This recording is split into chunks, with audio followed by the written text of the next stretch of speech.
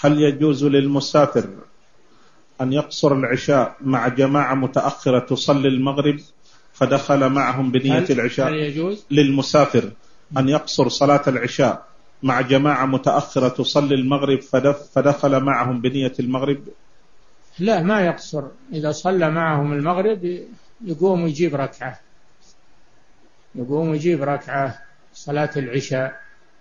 في صلاة العشاء يقول نعم نعم مسافر في صلاة العشاء. وكيف يعني بي كيف بيصلي العشاء مع المغرب؟ هم صلين المغرب من قبل ويريد أن يجمع العشاء معها. نعم. وجدهم يصلون المغرب نعم يدخل معهم ويكملها أربعا.